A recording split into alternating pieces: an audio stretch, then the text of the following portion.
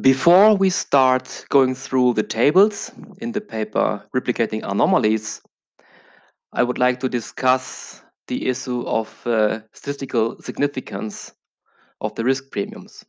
So we stopped the derivation on the whiteboard with this formula, what, the, what you see here, where, where our estimated lambda, yeah, denoted as lambda hat, yeah, we um, have regressed in this equation the uh, vector of expected returns on our matrix X lambda. Yeah, what we get is a two by one vector, which you see here in the, in the next uh, equation, where our risk premium that we are interested in, that is associated in our case, in our example, with the cumulative fast returns, yeah, as long as we deal with the momentum anomaly. So we're interested in this lambda hat one, yeah, which basically gives gives us an estimate or uh, an estimate of the average risk premium that is related to the cumulative past returns yeah, in our example. So here we finished our uh, derivation on the whiteboard. So we get this two by one vector, and it's basically it gives us a point estimate. Yeah? This is just a point estimate. And if this guy here is, is larger than zero, we know that the risk premium, that uh, the cumulative returns are related, or that that, that they bear basically a risk, uh, risk premium, that they are related to a risk premium. So the question arises, is this risk premium here significant? Yeah, this is something that we have not covered uh, on the whiteboard, but this is what we want to discuss now. So how do we proceed in order to get the t statistic? There are, of course, many different uh, ways how to do that. This is just one possibility that we uh, will discuss now. So we can stack our excess returns of our stocks. Yeah, you, you might remember we have n stocks in our sample and t time series observations. So we can stack them into a T by N matrix. This T by N matrix has in the first column uh, the excess returns of the first stock across time from T is equal to 1 until T is equal to capital T. So this is a T, T by 1 vector, what you see here in the, in the first column here, T by 1 vector. The excess returns of the first stock our, of our sample across time. So we have obviously n columns here. Yeah? The last column here in our matrix contains the excess returns of stock of our last stock, capital N, again across time, from t is 1 until t is capital capital T. Yeah. So, so how to do in order to get the t statistic? So first of all, what we want to do is our our goal is we want to store for all of our n assets the corresponding estimated uh, risk premium yeah? The second guy here lambda hat 1 so what what we do is first of all we grab the first column vector yeah? So we have obviously capital n iterations so for each single stock, we, we grab from our matrix here the corresponding vector i. Uh, we start with i is equal to 1. Then we grab the first guy here, yeah, which is which you see uh, here. This is this is our first column. So if this is if i is equal to 1, yeah, we, we get the first the, the next return vector of the first stock across time. Yeah. What we do then is we just multiply this guy here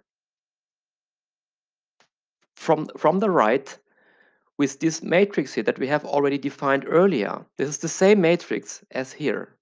It's the same guy that we have already derived. Yeah.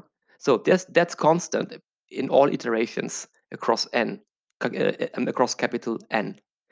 The only thing that changes is obviously what we here multiply on the right hand side this guy here, as we as we define it as the expectation um, across these n assets. But now we take each single asset here, obviously. So we multiply this guy here with the time series vector for each single asset. Uh, so what we get is a 2 by 1 vector. If we multiply this out, we, we will get a 2 by 1 vector that contains the corresponding risk premium. Yeah, Here, this guy is, is the important one, the second one. The, the corresponding risk premium for the first asset. Yeah, We stack it into a row vector here. And we continue. We do the next iteration. We do the same thing again, but now i changes to 2. Now we take the second guy out of this matrix, which, is, which are the, the, the excess returns across time of our second stock. And we do the same thing again. We regress this, this vector on this matrix here, lambda, uh, x lambda, yeah, of, on this matrix product here. It's basically the formula for uh, OLS estimation, right? So what we get then is in the second iteration, we get again the corresponding risk premium that is related for the or that is that is associated with the second stock of our sample. Again, we we, we grab this guy off the vector and store it here in the in the uh, row vector in the row vector. We do this capital N times, okay, until we reach here the last column vector of our matrix. Yeah, this is when E is equal to capital N. So in our last iteration, obviously, we regress the excess returns of our last stock uh, across time on this matrix product here. What we get is again, we get the corresponding risk premium yeah, for the last stock here. What we can do then do is we get simply, this is simply a row vector, or we can also transpose it, okay, that it doesn't matter. This is a row, row vector or a, a vector of, of risk premiums. So the only thing that we need to do is we have to estimate the sample average, which is the same thing as we get here, because it's basically, this is basically the uh, um, sample average of this guy here. Okay, this one can show that these are equivalent. So if you take the the average from this row vector here or column vector, it is it, it must be the same value as what we get here in this uh, um, average, basically, formula for getting the average risk premium. So then we divide it simply by the standard deviation. So we have to compound the t-statistic of this cross-sectional vector here. And if the t-statistic indicates, or if the t-statistic uh, has a higher value than 1.96, it would indicate that the risk premium um, is significant on a 5% significance level. Okay, so that's basically how we would proceed. Or that is just one possibility how to proceed. There are also other possibilities. Okay, so the problem obviously in this in this estimation is that we use here in this step estimates. Okay, so in our X matrix, you remember we have these estimated betas from the uh, first step. Yeah, so, so cross-sectional regressions are obviously two-step procedures. So here, our X matrix contains estimates. Yeah, so that's basically a problem. So, and we have somehow to correct for that. Yeah. And this procedure here actually does not take this into account. So that so there are different procedures how to deal with this issue. And uh, one way is certainly resampling, uh, bootstrapping, there are also other procedures possible. So if you study the literature carefully, you will probably um, read about the Shanken correction, yeah, which basically accounts for this issue or addresses this, this issue. But as for now, this is uh, one possibility, and there are some some papers circulating around that basically use this sort of method. Okay, now we uh, go to our paper that we would like to discuss here in this lecture, Replicating Anomalies. It's written from Hou, Xue, and Zhang, yeah, published in 2018 in the Review of Financial Studies. Uh, the Review of, of Financial Studies is one of the top three finance journals. And of course, I would recommend you when you start to write your master thesis that you also focus your your own research or that you relate your own research to what is published in these top three journals. Yeah, the Journal of Finance, the Review of Financial Studies, or the Journal of Financial Economics. So all papers that I cover in this lecture obviously are very recent. They are published in the last two years. Yeah? So the first paper that we discussed last time is published in 2018 in the Journal of Financial Economics, which is also top three journal. This study here is published in 2018 as well. And the forthcoming studies that we cover here in this course are published in 2020, so this year. So very current research. And uh, yeah, the the goal is of course or my objective is of course that you um, are familiar with up-to-date research. So the major finding in this paper here is that using a t-value of 1.96 uh, they find out or they figure out that 65% so the vast majority of anomalies of replicated anomalies fail replication they write it already here in the first sentence. Most anomalies fail to hold up the currently acceptable standards for empirical finance. Yeah? If they impose the higher t statistic, yeah? we discussed this on the whiteboard, the multiple test hurdle of 2.78 yeah? as a 5% significance level instead of this 1.96. The failure rate is even higher. Yeah? So 82% of these 452 anomalies fail replication when using this multiple test hurdle of 2.78. Which, which is shocking news at some point, right? So we discussed most issues already here. Let's go directly to section 2.2 in this paper, where it becomes uh, interesting. So in or in section 2.1 actually it starts. So in section 2.1 and in section 2.2, they basically uh, describe how they proceed. Yeah? You, you will hear about uh, NYSE breakpoints. They talk a lot about NYSE breakpoints um, as opposed to NYSE, AMEX, and NASDAQ breakpoints. So what's the difference? So basically, um, obviously this is a different stock universe. NYSE stocks ob uh, obviously um, are they basically um, here they contain they also contained in, in this sample here or in, in, this population, but these stocks here also include Amex and Nasdaq Nasdaq stocks. Moreover, if you use uh, breakpoints, this is NYSE, Amex, and Nasdaq breakpoints, you obviously have um, you would allocate uh, or your your breakpoint for what you denote as micro caps is uh, lower as it is here in NYSE breakpoints because obviously you have uh, only a subsample of stocks in your NYSE stocks and they are probably bigger uh, than the stocks contained uh, in this stock universe containing also that also accounts for Amex and Nasdaq stocks. So the basically how you treat microcaps in the sample or how you mm, what what stocks you refer to as microcaps is different if you use uh, NY if, if you use all stocks here or if you just use NYSE breakpoints. So that's that's basically the difference.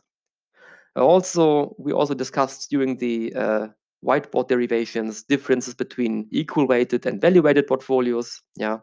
So also um, we talked also about this cross-sectional regressions uh, very intensively um, using like uh, value the the weighting matrix in between. Yeah? So it's they they call it here Fama MacBeth or uh, cross-sectional regressions uh, value weighted least squares using value weighted least squares. Yeah. And uh, the reason for why they do that is that it, they they argue that it mitigates the the impact of outliers yeah. And uh, it, it gives by this more robust estimates. And it also of course uh, accounts for the fact that uh, we have obviously um, as reported in other papers um, anomalies are stronger when implemented among small stocks but using uh, value-weighted returns, obviously small stocks get a lower weight in the estimation procedure than big stocks, and so this also accounts for the uh, small stock problem. Yeah? So that's the reason for why they use this uh, least squares method when implementing cross-sectional regressions. So in section in section uh, 2.1, they also discuss the, the methodology that we derived uh, on the whiteboard. Yeah. And in section 2.2, entitled Reliable Procedures that Control for Microcaps, they argue basically that in contrast to, to other papers, they explicitly uh, take uh, microcaps also into account in their sample. So, so they do not exclude microcaps.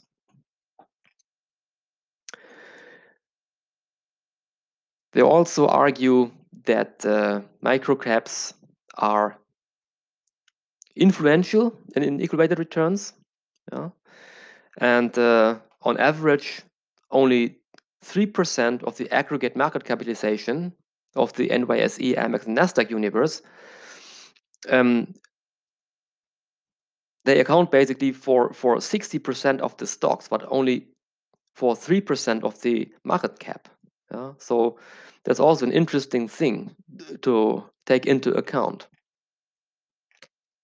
So let's jump directly to table one here in this paper.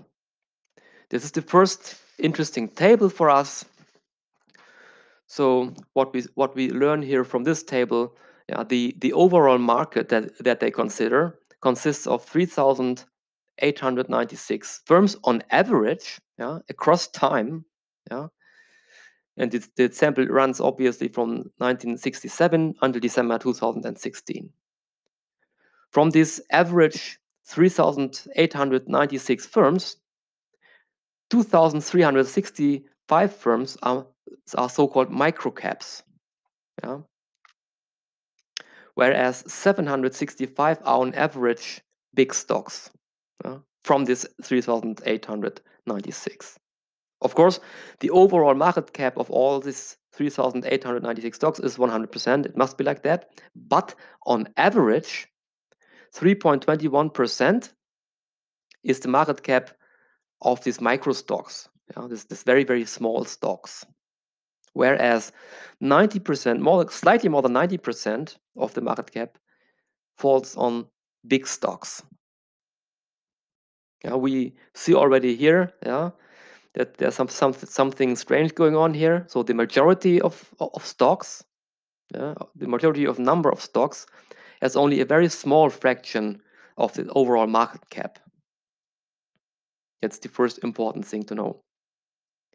What we see here is if we consider value weighted returns, so the average of the whole market return value weighted is 0.91.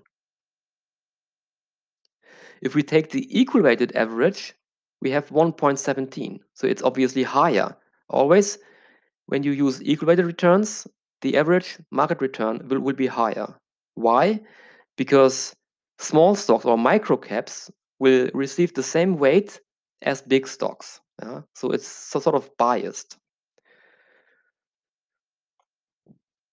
The uh, value weighted returns for big stocks is close to the to, to the value weighted market return. So it's 0.90. Yeah, so 90 basis points on average per month.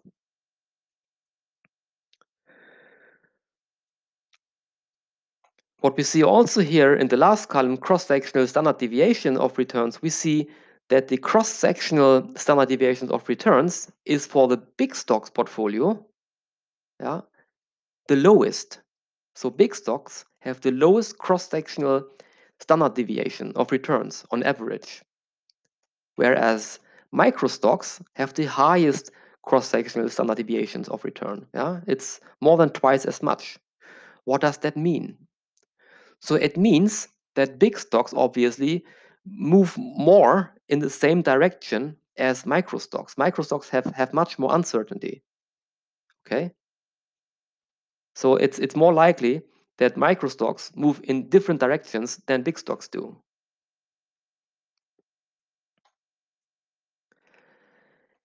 If we now scroll down, yeah, we see the figure one entitled time series properties of microcaps.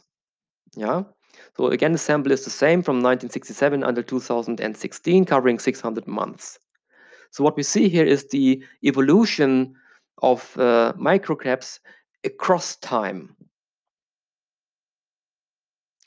So you see here that in 1987 here in, or in the in the in the mid mid 80s we had the highest percentage about 70% uh, of, of all firms were microcaps uh, in the mid 80s so 70% of the stock universe in the US have been microcaps and then we see a downwards trend here yeah so in the um, end of the sample period so in 2016 obviously it's roughly it's around 50% of the stocks are microcaps.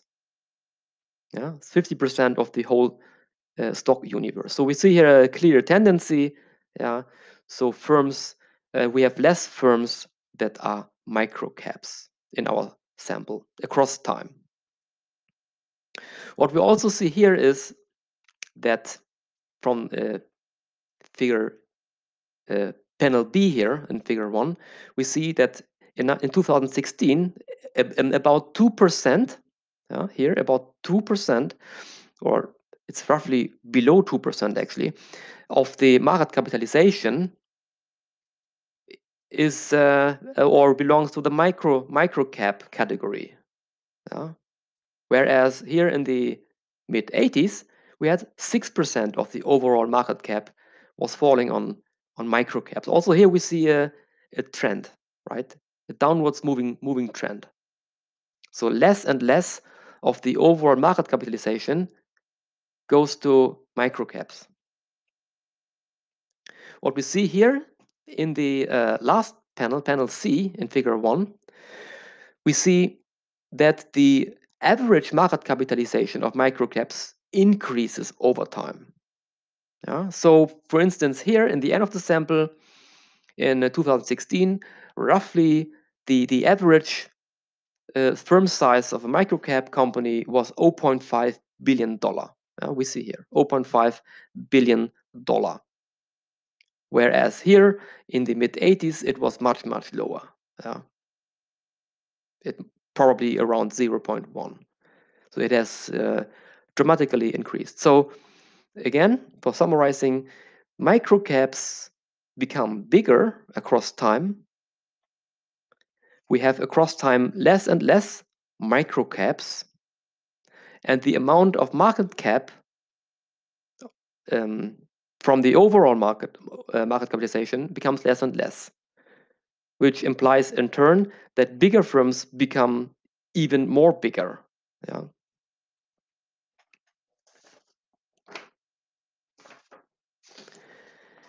If we now move on to table two, which is the next interesting table here of this paper.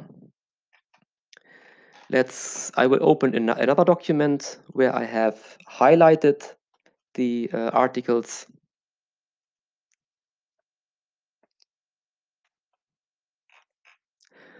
and made some notes on it. Let's go to table two here, which we see here. Yeah, I copied it differently so that it's easier to read. So table 2 is entitled Portfolio Weights on Microcaps and Investment Capacity. Sample period is of course the same. What we see here is when using NYSE stocks and equal weighted returns, and we consider now the uh, long leg and the short leg of our different um, anomaly categories. Yeah? Remember now that on the high side here, this is our long leg, okay? And momentum uh, basically refers to the whole uh, um, anomaly category momentum. And there are many different anomalies in this category. Yeah, we spoke um, about this uh, earlier in the lecture. Yeah, they divided the whole um, the, the whole universe of anomalies into six different categories. Yeah. And uh, here on the right hand side, we see the, the uh, long leg, so where, where we are investing in, and low refers to the short leg, how we finance it. Yeah. Okay. So this is basically our short position, and here on the right hand side this is our long position. And if we consider only the category momentum for a second, so what we see is that using value weight, so using uh, equal weighted returns uh, and NYSE stocks, we see that um, 46.66 or 47.66% are allocated to microcaps. and 55.6 55.24% fall on uh, microcaps in the uh, short leg of our strategy. So obviously, if we use equal weighted uh, returns, we uh, the, the majority is invested in in uh, microcaps, which which also of course, confirms earlier research stating that uh, anomalies are stronger um, across uh, when implemented among small stocks. Yeah. If we use value-weighted returns, obviously the uh, amount here uh, decreases yeah, from 47.66 to 3.87. In the long leg, and from 55 point, uh, sorry, 62.23 to 8% in the short leg. Yeah, we have to consider, if you consider momentum, we have to consider this uh, two figures here. Yeah, and for uh, all anomalies together, yeah, using NYSE stocks and equal weighted returns, we would invest 59.53% in microcaps and uh, in the long leg, and 55.24% in microcaps in the short leg. Whereas using value-weighted returns and NYSE stocks, we would invest uh, roughly 10% into microcaps uh, with respect to the long leg and 7.19% when we consider the short leg. That's basically what we learn from table 2.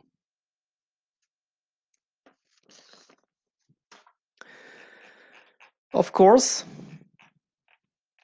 in section 233, limitations, they argue, okay, um, they, they want to clarify that microcaps play an important role in the real economy. Yeah? So uh, a large fraction of aggregate employment resides in microcaps. So in, for, for example, firms with less than 50 employees contribute to more than 30% of the total employment. So here, basically, they just want to highlight that uh, microcaps are not unimportant from an economic perspective. Yeah, but obviously, from a financial perspective, people are focused more on uh, big stocks. Again, in section three, they basically um, highlight one more time how they proceed. Yeah, so they use the standard t statistic of 1.96 in the replication procedure as a 5% threshold, and also uh, the uh, higher value of 2.78 yeah, for uh, the multiple testing hurdle that we also discussed already.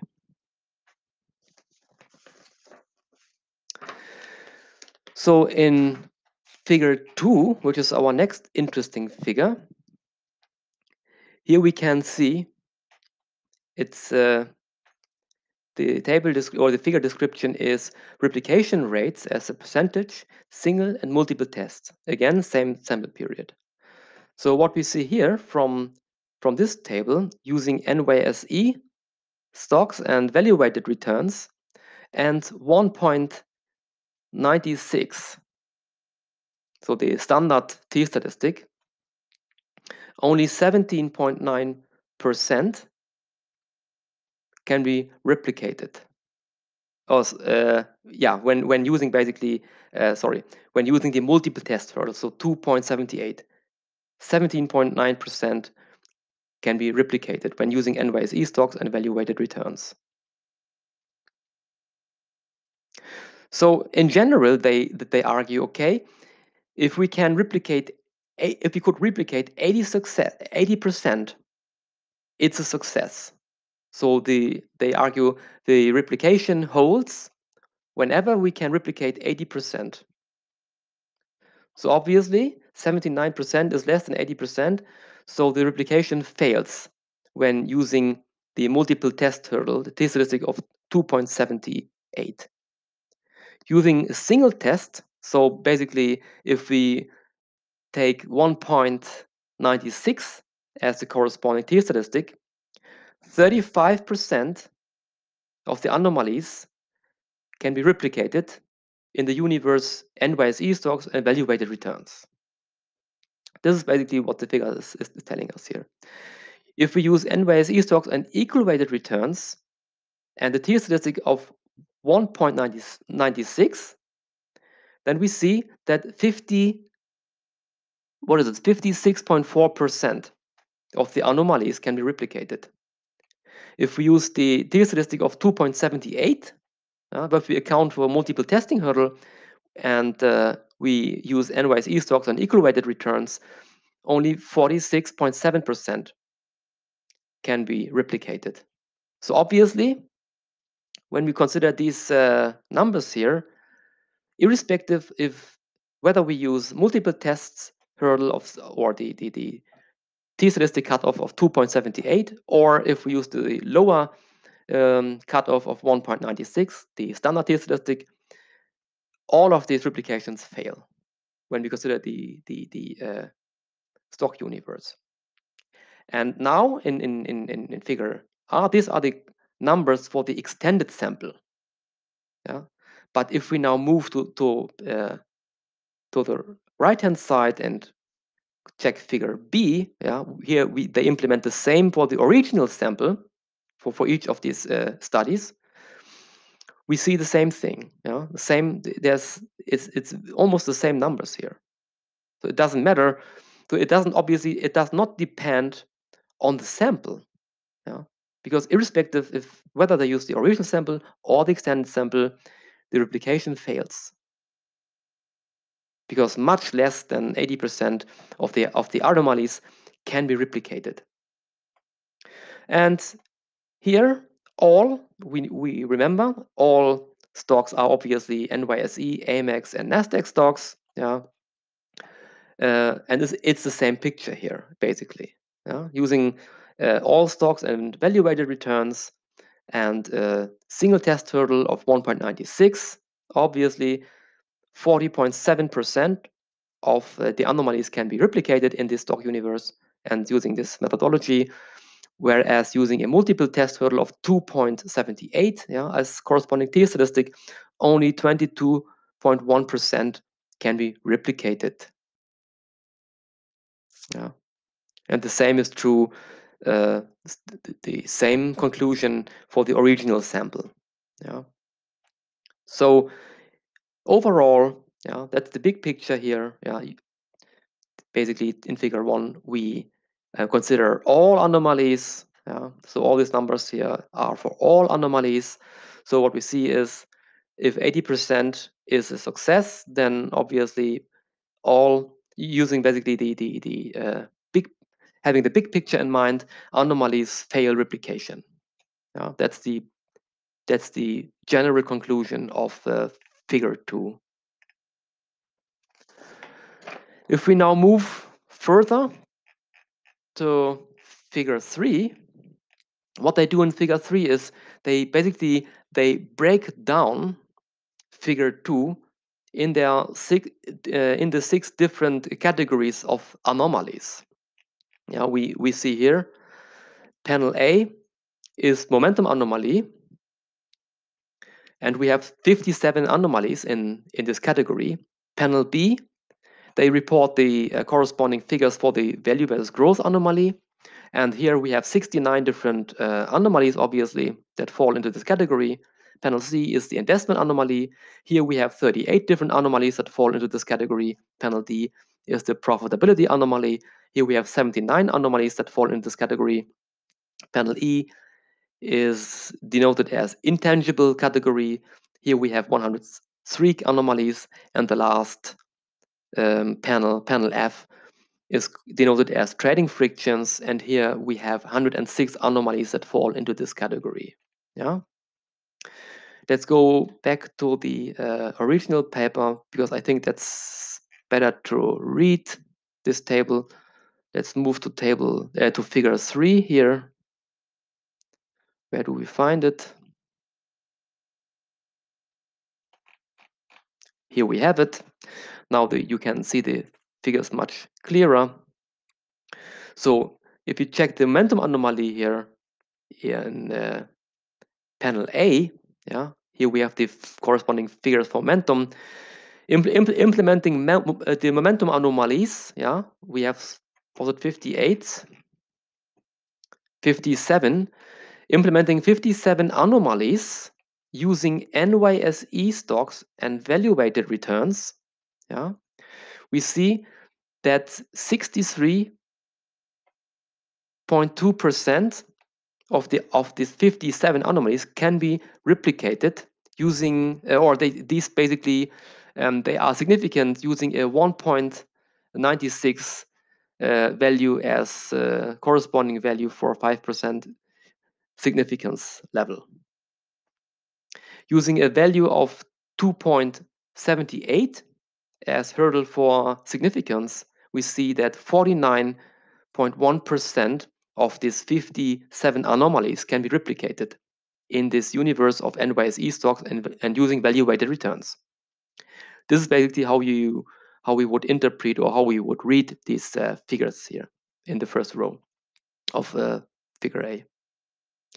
If we now uh, if we use equal weighted returns, however, and if we implement the momentum anomalies, our 57 anomalies in our NYSE universe, we see that we can that 80 84.2% can be replicated if we use uh, if we basically would uh, use the value of 1.96 as, as, our value indicating significance, we see that 84.2% of our 57 um, anomalies have higher t statistics than 1.96.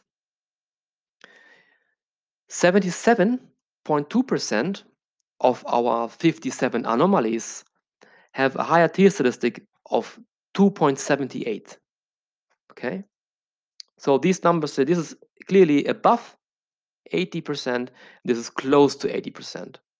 Yeah? So here we can say, okay, obviously momentum does not fail the uh, replication.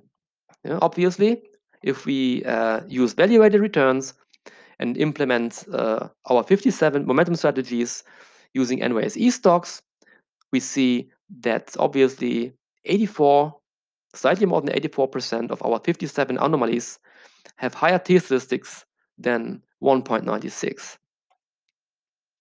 And the same is true actually if we use uh, all stocks, that is NYSE, AMEX, and NASDAQ stocks, again using equal weighted returns.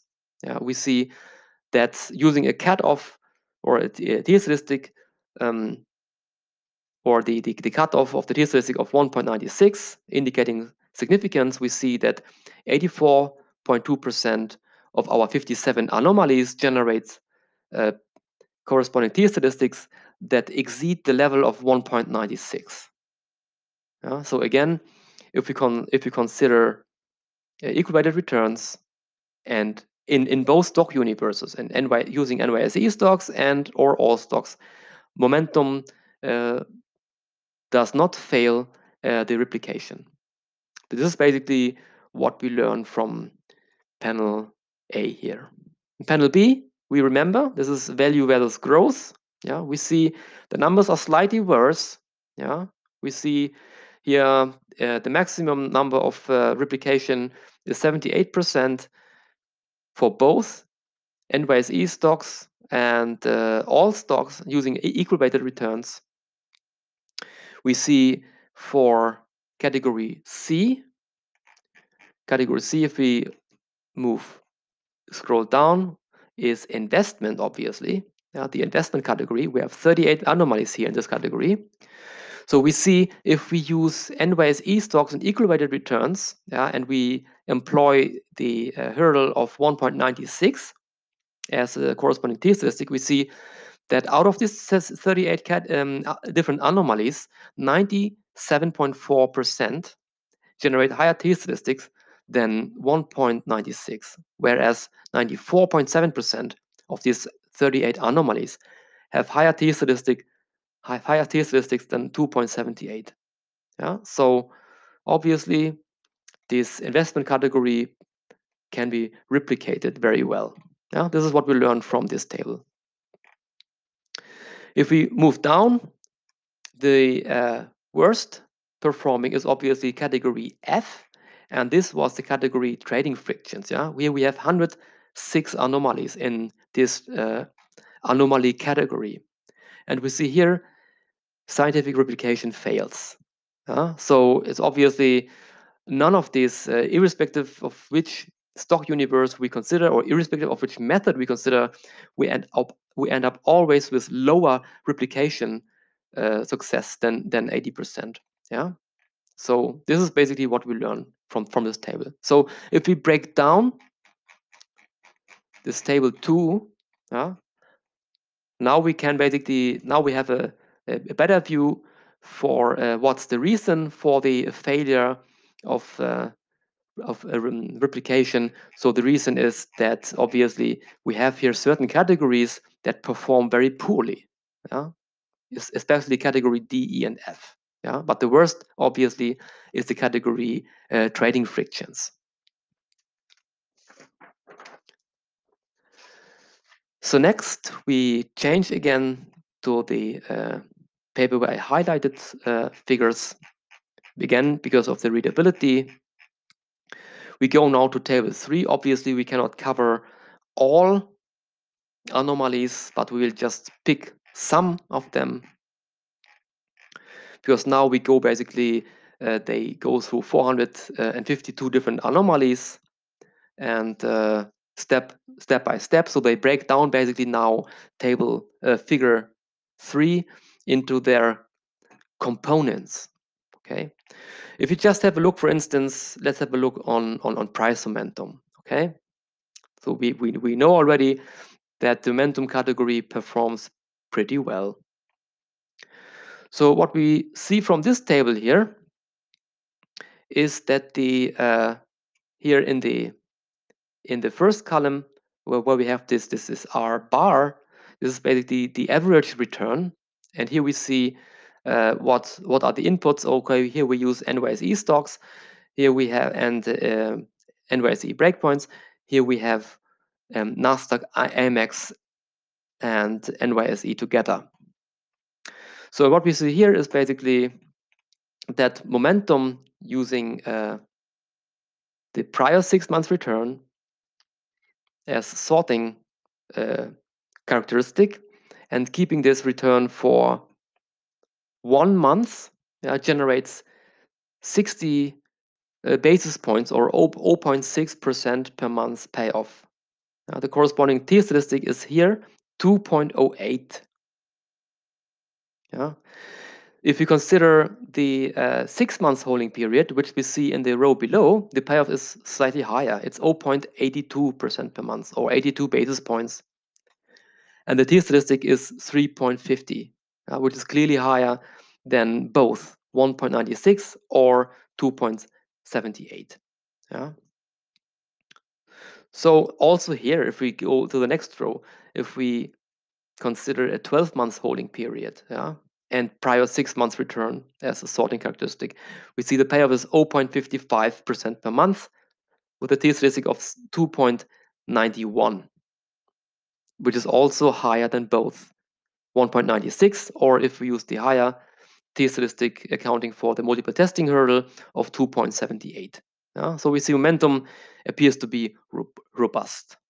And also if we go to equal weighted returns or here all value weighted returns, we see, for instance, for uh, the six months holding period, similar pattern. Yeah, T statistic is is is high, 2.90 here, 4.63. Here we have 6 point, uh, 2.63. So momentum seems to be a robust uh, anomaly. So it's a, it's possible to replicate momentum. And this is also what they write here in, in the paper. If we sc scroll down, uh, let me just go to the corresponding description. On page 19, let me see.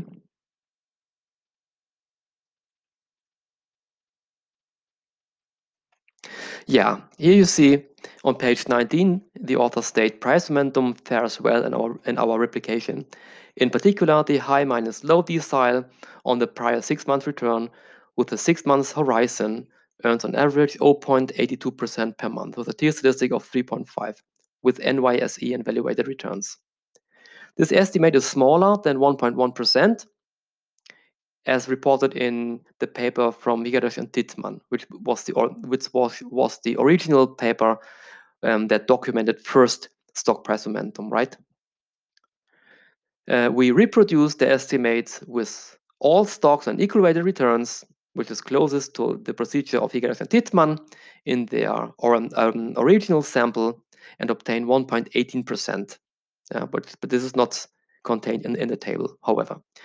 Uh, this estimate falls to 0.7% in the extended sample. The estimate is 1.06 in the, in the original sample with NYSE stocks and evaluated returns. So that's an interesting finding. If we take next, as next anomaly, the uh, book to market equity as reported in Rosenberg, Wright, and Lanstein in the 85 paper, yeah, we see that using NYSE stocks and evaluated returns, the average payoff of this uh, anomaly, of this book to market ratio anomaly, is 0.54% per month with a T statistic of 2.61. Using NYSE stocks and equal weighted returns, we see the corresponding payoff is much, much higher. It's 1.19% per month with a T statistic of 6.08. This is almost unbelievable. And then you can you can go through here, and what you see is obviously we have high T statistics, yeah, T statistics that are higher than both critical values 1.96 for the standard significance level or 2.78 for the T statistic accounting for the multiple testing hurdle. Okay. So if we move move on, if we take the investment to assets anomaly, yeah, reported first in Cooper, Gulen, and Schill, 2008 paper, yeah. So we have a payoff of minus 0.44 with a T statistic of 2.89. Yeah, using NYSE stocks and value weighted returns. Using equal weighted returns, the payoff is much, much higher. It's minus one, 1%, yeah, minus 1.02% per month with a T statistic of 6.91. Yeah, you see here, the T statistics are much, much higher than both levels, 1.96 or 2.78. Yeah, so highly significant. So this anomaly obviously is also uh, able to replicate. Yeah, if you scroll here, you see here everywhere T statistics that are very high, yeah, above five even. So this is this is very interesting. So obviously, and this actually confirms what we have already seen in figure three, because the investment category and the momentum uh, category, obviously, they, they do very well in their replication study. Now we can move on to the uh, operating profits to book equity as reported in the Fama and French paper 2015. You remember we spoke uh, in the last lecture about this. We discussed uh, about uh, the difference between cash profitability and operating profitability. Here we have the operating profitability yeah, using NYSE stocks and value-weighted returns, the average payoff is 0.27, yeah, with a t-statistic of 1.34. So this anomaly here, or this factor, fails scientific replication, right? If we use equal weighted returns, the payoff is even lower, which is surprising, right? It should be higher, but this is in this case even lower, and also the t-statistic is even lower. Yeah, it doesn't it does not even reach the standard significance level of 1.96. Yeah, the t-statistic is 0.66, so it's insignificant. So obviously this anomaly here, irrespective which method we choose, yeah, it's insignificant. It fails scientific replication. And in the same manner, we can go through the table and we can go through this table and we can assess for each anomaly which of these is uh, um, fails replication and which does not fail replication.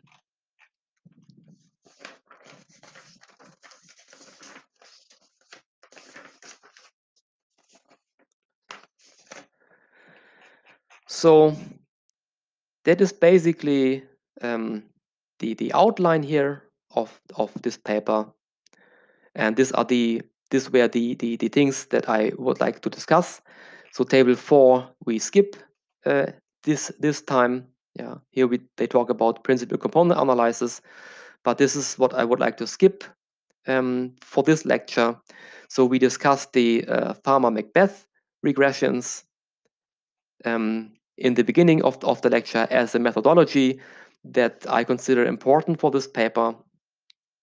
And if you read other papers, you will uh, encounter this methodology over and over again. So that's why uh, it was worthwhile to discuss that. Moreover, um, this methodology is also applied, of course, in, in, in often in multivariate settings. Uh, we discussed in this lecture the univariate setting. We can, if we just go scroll to that, uh, we can just scroll here so here, obviously, is similar like what we derived on the on the uh, whiteboard. So in this setting, what that we discussed, we had obviously it was a univariate setting, so we had only one characteristic. Uh, and for momentum, you remember it was the cumulative return over a certain time window of, of, of past returns that should have predictive power. Yeah? But of course, we can here also have another vector of uh, book to market ratio, yeah, or a vector of uh, profit past profitability, yeah, then of course we would have a multivariate setting here.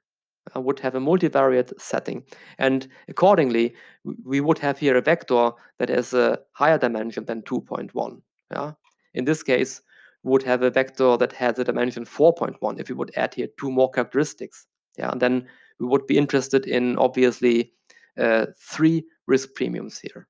Yeah, this beta one, two, and three in this case. So that's basically um, what I would like uh, to, to talk about um, in in this lecture here.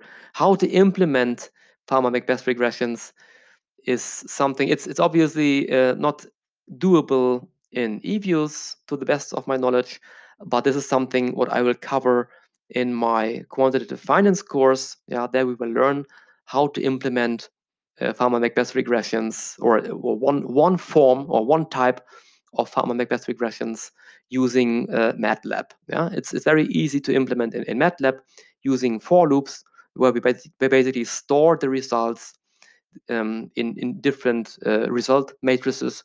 Yeah, and uh, it's very easy and but we will not uh, go further in, in, into detail uh, in our lecture as of now. Thank you for your attention.